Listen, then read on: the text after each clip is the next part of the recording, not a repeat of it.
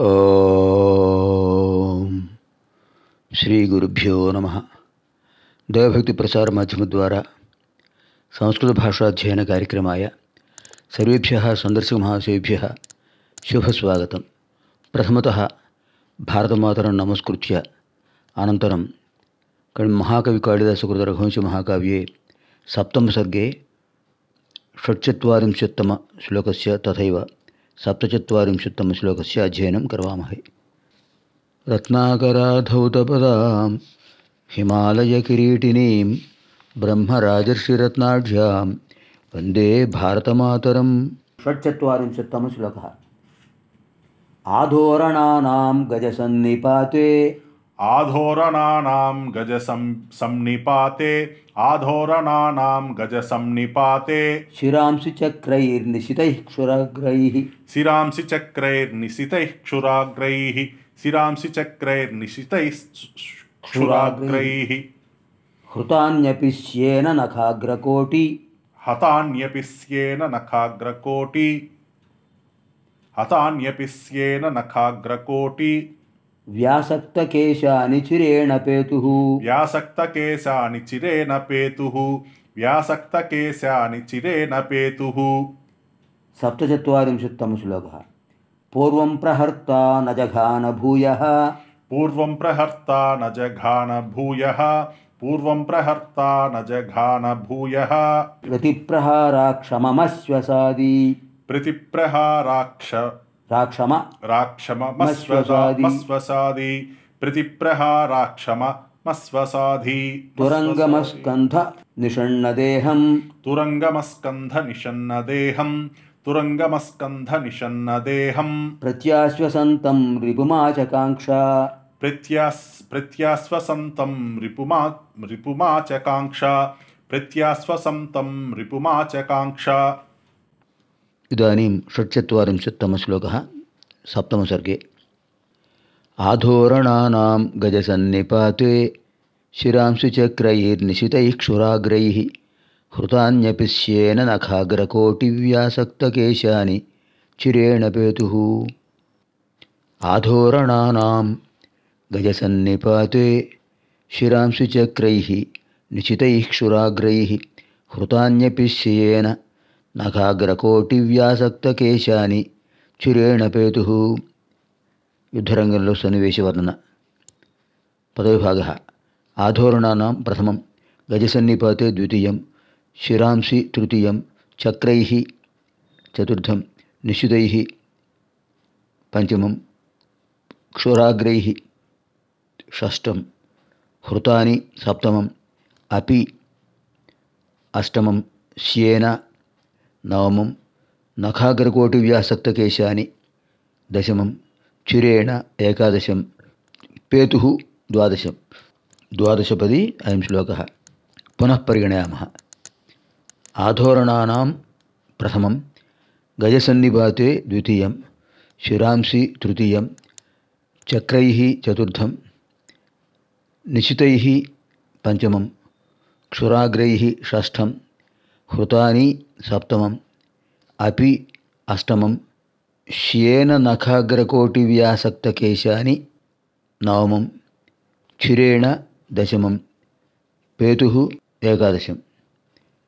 ఆధోరణానాం గజసన్నిపాతే శిరాంసి చక్రై నిశితై క్షురాగ్రై. హృతాని అపి శ్యేన నఖాగ్రకోటివ్యాసక్తకేశాని చిరేణ పేతు ఏకాదశపది అయం శ్లోక. అనంతరం అన్వయక్రమ. గజసన్నిపాతే నిశితై క్షురాగ్రై చక్రై హృతాని అపి శ్యేన నఖాగ్రకోటి నఖాగ్రకోటివ్యాసక్తకేశాని ఆధోరణానాం శిరాంసి చిరేణ పేతు.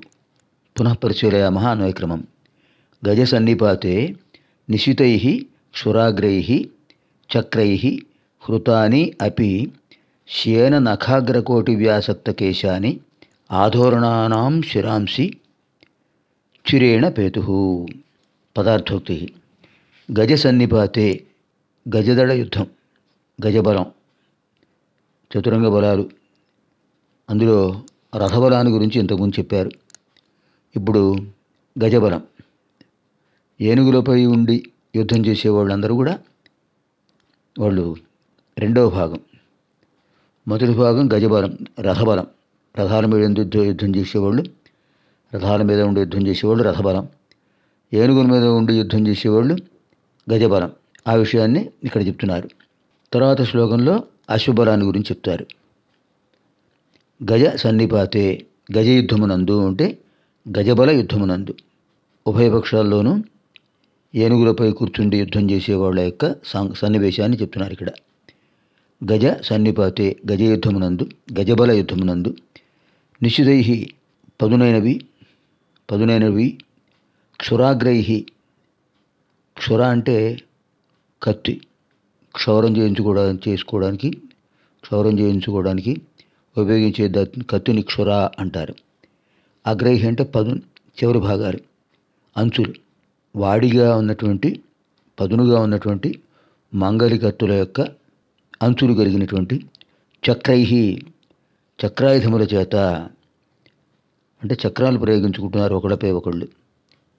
హృతాని అపి ఛేదించబడినప్పటికీ ఒకళ్ళపై ఒకళ్ళు చక్ర ప్రయోగం చేసుకోవడం చేత ఆ చక్రాలు వాళ్ళ శిరస్సులను ఖండించాయి అని అక్కడ అర్థం.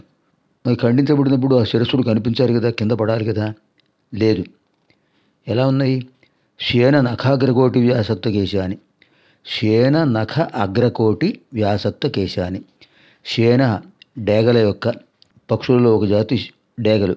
శేన డేగలు అనే పక్షుల యొక్క నఖ గోళ్ళ యొక్క అగ్రకోటి చివరి భాగాల్లో వ్యాసక్త తగులుకున్నటువంటి కేశాని జుట్టు కలిగినటువంటి ఆధోరణానాం గజారోహకుల యొక్క శిరాంశి తలలు చిరేణ ఆలస్యంగా పేతుహు పడ్డాయి. పునఃపరిశీలయామ అన్వయక్రమం గజసన్నిపాతే నిశితై క్షురాగ్రై చక్రై హృతాని అపి శేన నఖాగ్రకోటి వ్యాసక్తకేశాని ఆధోరణానాం శిరాంసి చిరేణ పేతు.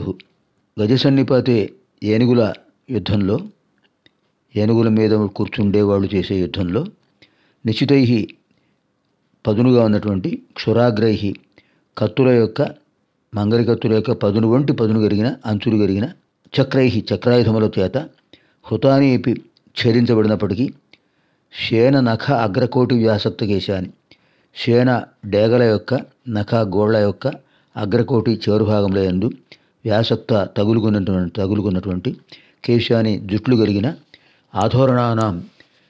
ఆధోరణ అంటే గజారోహకులు. ఏనుగుల నుండి ఉండే ఏనుగుల మీద కూర్చుని ఉన్న కూర్చున్న వాళ్ళను అది ఆధోరణ అంటారు. మావటివాడు అని కూడా అర్థం ఉంది ఆధోరణాన. వాళ్ళ యొక్క శిరాంశి తలలు చిరేణ ఆలస్యంగా పేతుకు పడ్డాయి. అంటే ఏమిటి ఇక్కడ అర్థం? గజబల యుద్ధంలో ఉభయ ఉభయపక్షాల్లోనూ ఏనుగుల మీద ఉండి యుద్ధం చేసేవాళ్ళు చక్రాయుధాలు ప్రయోగించుకున్నారు. ఆ చక్రాయుధాలతో వాళ్ళ శిరస్సులు తెగిపోయాయి. తెగిపోయిన శిరస్సులు కింద పడకుండానే వెంటనే డేగలు అక్కడికి వచ్చేసి తమ ఖాళీ గోళ్ళతో వాటిని పట్టుకుని పైకి తీసుకుపోయాయి. పైకి తీసుకుపోయి అవి కొంత భాగం తినేసి తర్వాత కింద పడేస్తున్నాయి. అంచేత ఆ శిరస్సులు కింద పడడానికి కొంత ఆలస్యమైంది. అది విశేషం. భావం కూడా అదే ఉంది. ఏనుగుల మీద ఉండి యుద్ధం చేసేవాళ్ళ యొక్క తలలు చక్రాసాలతో తెగి కింద పడకముందే రక్తమాంసాలు తినేటటువంటి డేగలు ఆకాశానికి ఎగురుతూ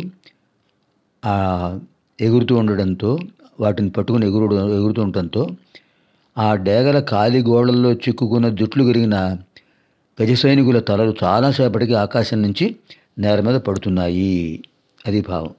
ఇక్కడ ధాతురూపం ఏమిటి పేతు అష్టాదశ వర్ణనలో యుద్ధవర్ణన కూడా ఉంది. ఎంత అద్భుతంగా వర్ణించాడు మహాకవి కాళిదాసు మొదట రథబలంలో రథాలపై ఉండే ఉండే యుద్ధం చేసేవాళ్ళ గురించి నలభై ఐదో శ్లోకంలో చెప్పారు. ఇప్పుడు నలభై ఆరో శ్లోకంలో ఏనుగులపై ఉండి యుద్ధం చేసేవాళ్ళ సన్నివేశాన్ని చెప్తున్నారు.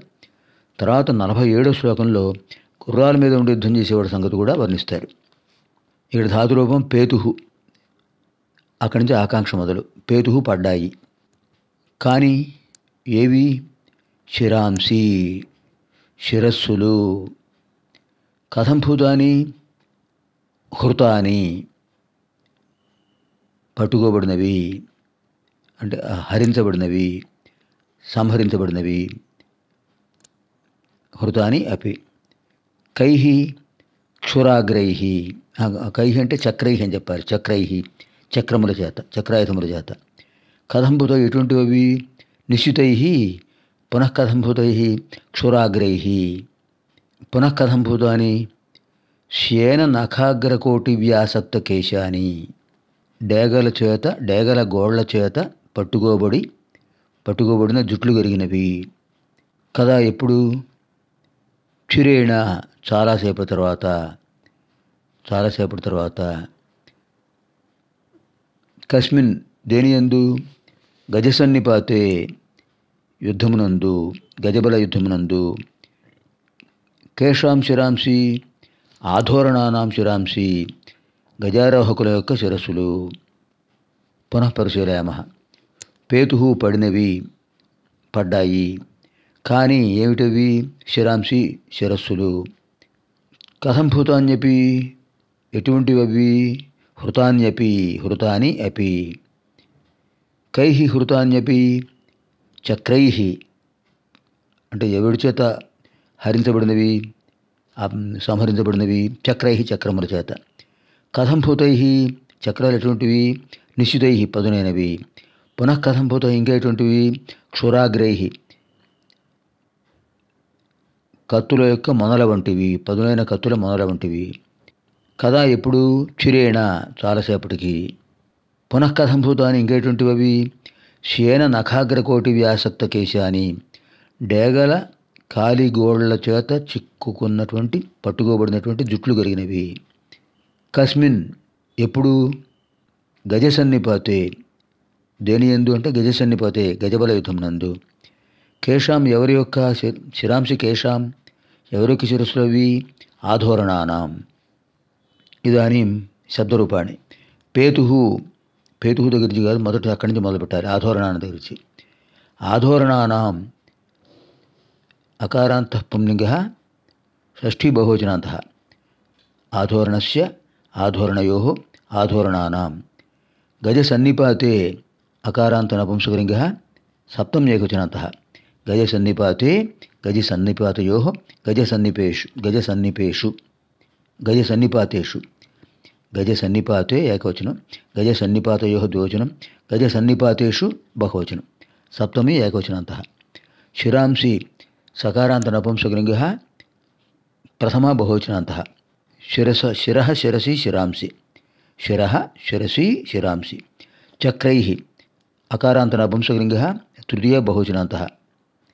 శిరసి శిరాంసి శిర శిరసి శిరాంసి చక్రై అకారాంత నపుంసకలింగ తృతీయ బహువచనాంత చక్రేణ చక్రాభ్యాం చక్రై నిశ్చితై అకారాంత నపుంసకలింగ తృతీయ బహువచనాంత నిశ్చితేన నిశ్చితాభ్యాం నిశ్చితై క్షురాగ్రై తదపి తథైవ అకారాంత నపుంసకలింగ తృతీయ బహువచనాంత క్షురాగ్రేణ క్షురాగ్రాభ్యాం క్షురాగ్రై హృతాని అకారాంత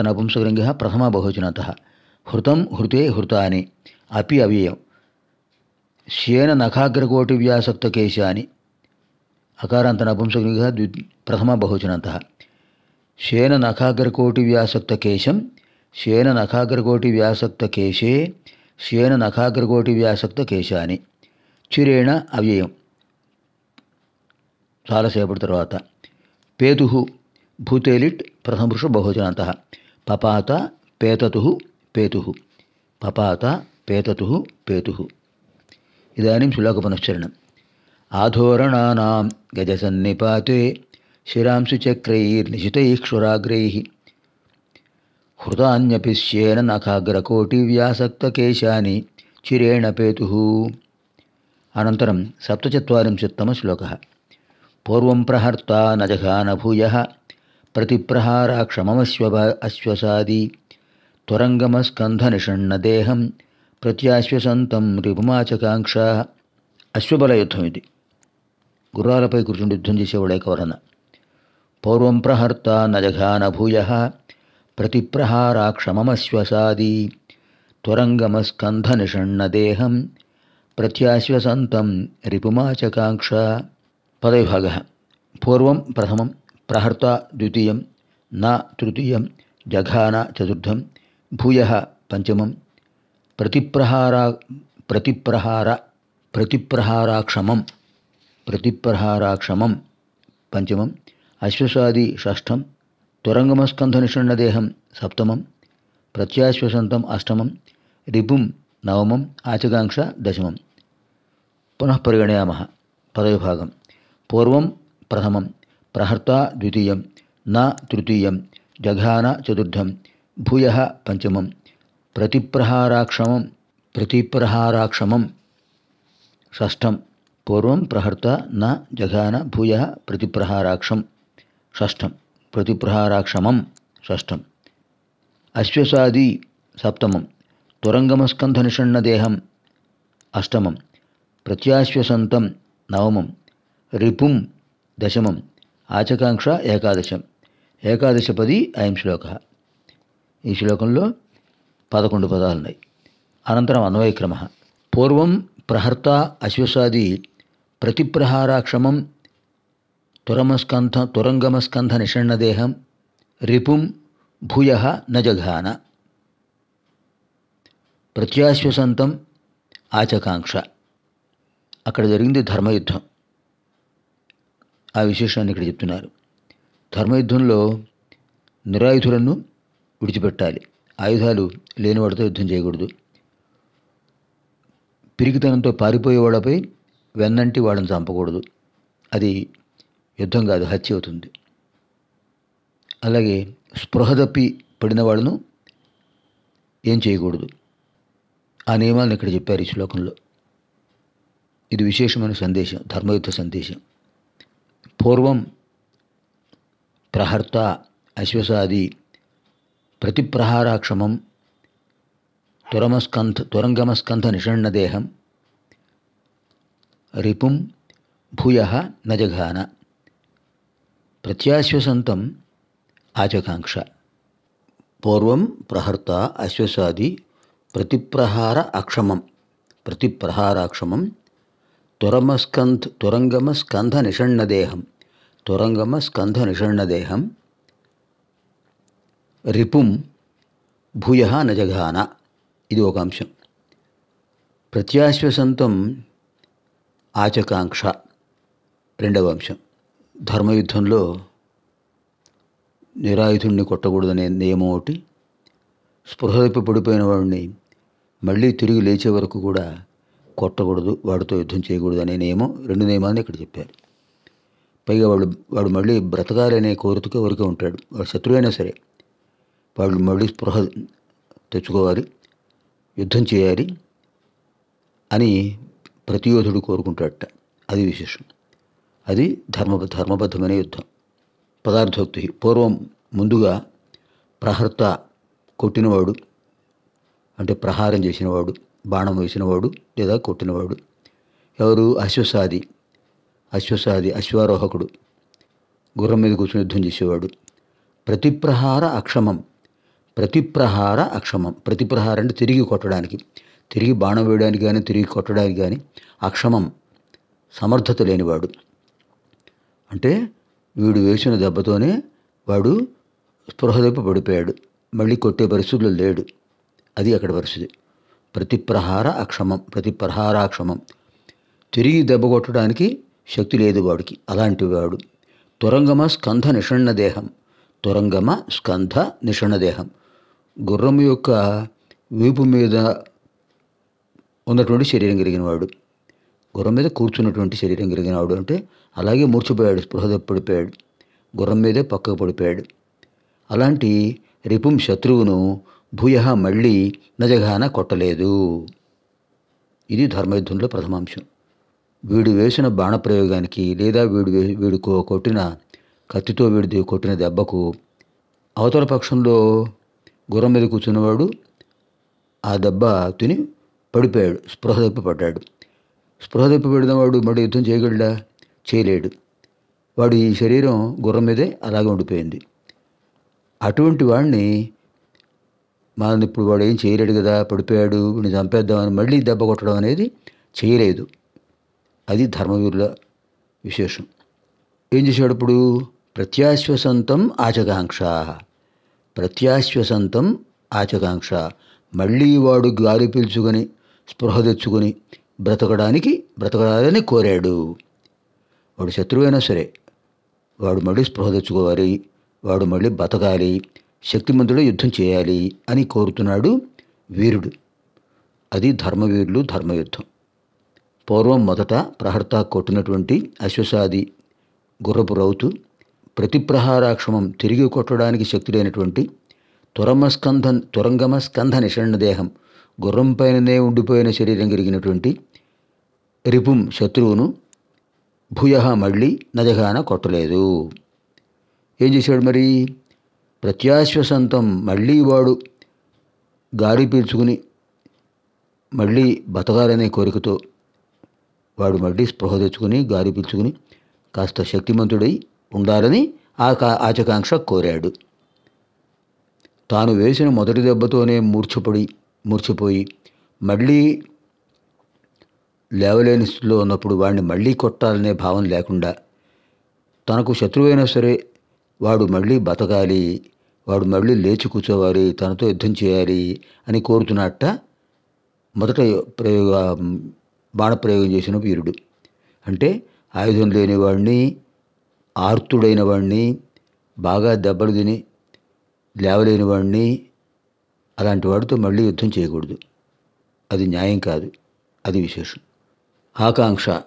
ఇక్కడ ఆకాంక్షలో రెండు ధాతురూపం ఉన్నాయి. ఆకాంక్ష రెండు ధాతురూపం దగ్గర రెండు ఆకాంక్షలు విడివిడిగా చెప్పుకోవాలి. నా జఘాన కొట్టలేదు. జఘాన కొట్టాడు అర్థం. నా జఘాన కొట్టలేదు. కహ ఎవరు? అశ్వసాది.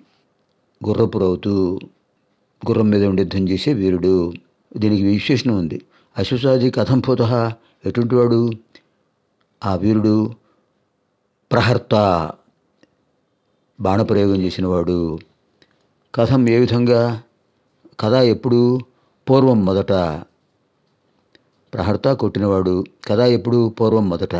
కం ఎవరిని? ప్రతిప్రహారాక్షమం. ప్రతిప్రహార అక్షమం. ప్రతిప్రహారాక్షమం. తిరిగి దెబ్బ కొట్టడానికి తిరిగి యుద్ధం చేయడానికి శక్తుడు కానివాడు. పునఃకథం భూతం ఎటువంటి వాడు? ఆ శత్రువు తురంగమ స్కంధ నిషణ దేహం దీనికి ముందు చెప్పడానికి కం ఎవరినైనప్పుడు రిపుం అని చెప్పాలి. రిపుం శత్రువును. నజఘాన కొట్టలేదు. కం ఎవరిని? రిపుం శత్రువును అది చెప్పాలి ఇక్కడ. రిపుం శత్రువును. కథం ఎప్పుడు? భూయ. కథ ఎప్పుడు? భూయ మళ్ళీ. రిపుం కథం పోతాం. శత్రువు ఎటువంటి వాడు తురమ్మ తురంగమ స్కంధ నిషణ దేహం తురంగమ స్కంధ దేహం గుర్రంపై పడిపోయిన శరీరం కలిగిన వాడు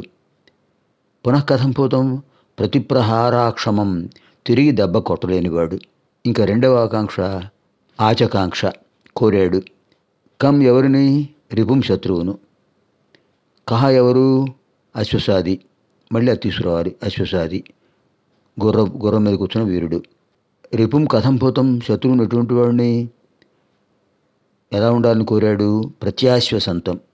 మళ్ళీ గాలి పీల్చుకుని స్పృహ తీర్చుకొని శక్తిమంతుడైన వాడుగా ఉండాలని కోరాడు.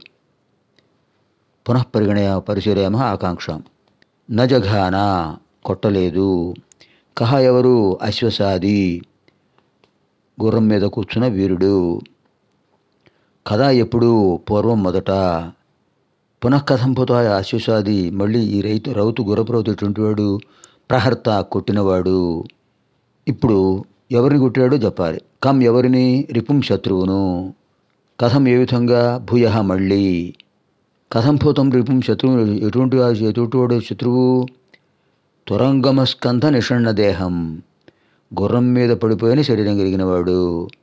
పునఃకథం పోతం ఇంకేటువంటి వాడు? ప్రతిప్రహారాక్షమం. ప్రతియుద్ధం చేసేయడానికి శక్తి లేనివాడు. ఇప్పుడు ఆచకాంక్ష అక్కడి నుంచి చెప్పుకోవాలి. ఆచకాంక్ష కోరాడు. కహ ఎవరు? అశ్వసాది గుర్రం మీద గుర్రం మీద కూర్చున్న వీరుడు. కం ఎవరిని? రిపుం శత్రువును. కథం భూతం ఆచకాంక్ష ఎలా ఉండాలని కోరాడు? ప్రత్యాశ్వసంతం. తిరిగి గాలి పీల్చుకుని స్పృహ తెచ్చుకొని మళ్ళీ మళ్ళీ బతకాలి మళ్ళీ తనతో యుద్ధం చేయాలి ఆ వీరుడు అని కోరాడు.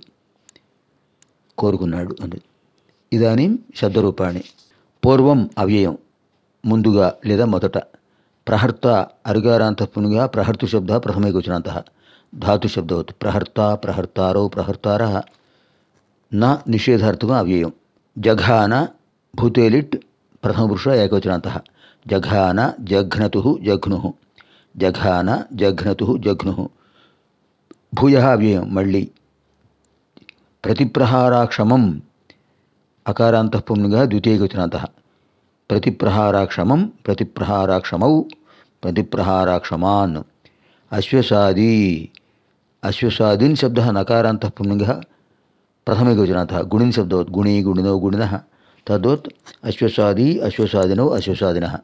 త్వరంగమస్కంధనిషణ్ణదేహం అకారాంతఃపుంగ ప్రథమేకవచనాంత ద్వితీయకవచనాంత త్వరంగమస్కంధనిషణ్ణదేహం త్వరంగమస్కంధనిషణ్ణదేహౌ త్వరంగమస్కంధనిషణ్ణదేహాన్ ప్రత్యాశ్వసంతం తకారాంతః పుంలింగ ద్వితీయకవచనాంతः ప్రత్యాశ్వసంతం ప్రత్యాశ్వసంతో ప్రత్యాశ్వసంత రిపుం ఉకారాంతః పుంలింగ ద్వితీయకవచనాంతः రిపుం రిపో రిపోన్ ఆచకాంక్ష ఆ ఉపసర్గ చకాంక్ష ధాతురూపం మూలధాతురూపం భూతేలిట్ ప్రథమపురుష ఏకవచనాంత ఆచకాంక్ష ఆచకాంక్షతు ఆచకాంక్షు ఆచకాంక్ష ఆచకాంక్షతు ఆచకాంక్షు ఇదానీం శ్లోకపనుసరణం పూర్వం ప్రహర్త నజఘాన భూయ ప్రతిప్రహారాక్షమమశ్వసాది త్వరంగమస్కంధనిషణ్ణదేహం ప్రత్యాశ్వసంతం రిగుమాచకాంక్ష పునర్మిలామ ఆగామిని కార్యక్రమే అష్టచత్వరింశోత్తమ శ్లోకస్య తథైవ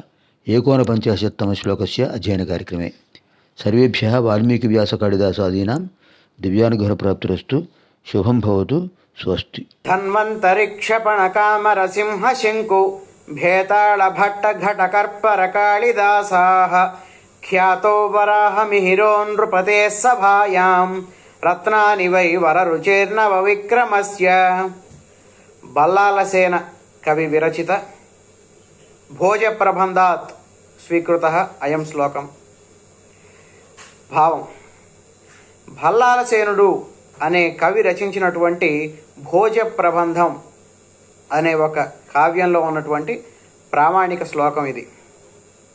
ఈ శ్లోకం ఆధారంగా మనం విక్రమార్కుడి యొక్క ఆస్థానంలో నవరత్నాలు అనే పేరుతో తొమ్మిది మంది కవులు ఉండేవారని వారిలో కాళిదాస్ మహాకవి ఒకరు అని మనం తెలుసుకోవచ్చు. ఆ నవరత్నాలు అనే తొమ్మిది మంది కవులలో ఎవరెవరంటే వాడంతా ధన్వంతరి క్షపణకుడు అమరసింహుడు శంకుభట్టు భేతాళభట్టుడు ఘటకర్పరుడు కాళిదాసు వరాహమిహిరుడు వరరుచి. ఈ తొమ్మిది మందిని మనం నవరత్నాలు అనే పేరుతో అంటుంటాం. విక్రమార్కుడి యొక్క ఆస్థానంలో ఉండేటువంటి మహాకవులు. ఇందులో నవరత్నాల్లో కాళిదాస్ మహాకవి ఒక ప్రసిద్ధమైనటువంటి కవి అటువంటి కాళిదాస్ మహాకవి రచించినటువంటి ఈ రఘువంశ మహాకావ్యాన్ని మనం అధ్యయనం చేయటం మనందరి యొక్క అదృష్టం విశేషమైనటువంటి పుణ్యఫలం.